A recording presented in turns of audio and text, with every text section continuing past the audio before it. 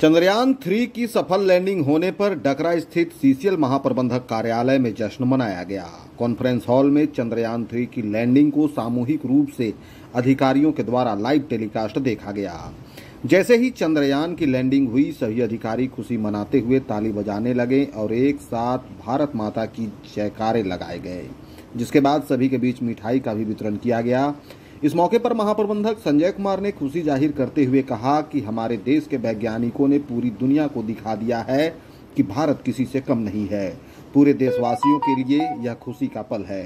चाँद के दक्षिणी ध्रुव पर उतरने वाला भारत पहला देश बनकर गौरव गाथा को लिखा है। इस मौके पर staff officer personnel Jyoti Kumar, Khan प्रबंधक लोकनाथ राम।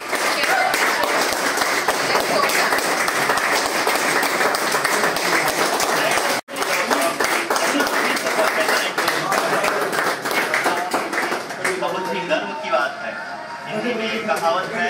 कि चंदा मामा दूर के लेकिन अब हमें कह सकते हैं कि चंदा मामा अपने घर के बहुत ही।